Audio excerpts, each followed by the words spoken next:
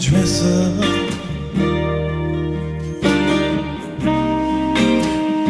and takes off her jewelry.